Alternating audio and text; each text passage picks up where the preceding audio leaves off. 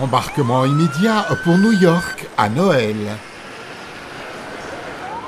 Ça y est, la grosse pomme a retrouvé ses accessoires.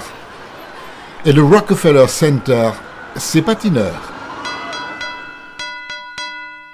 Mais le plus bling-bling, c'est du côté de Brooklyn qu'il faut le chercher.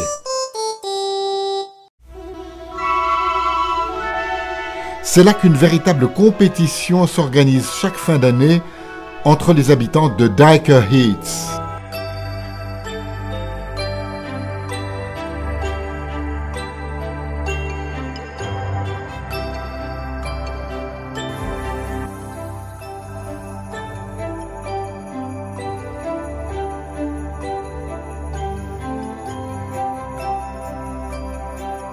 Ah, voilà un potentiel gagnant.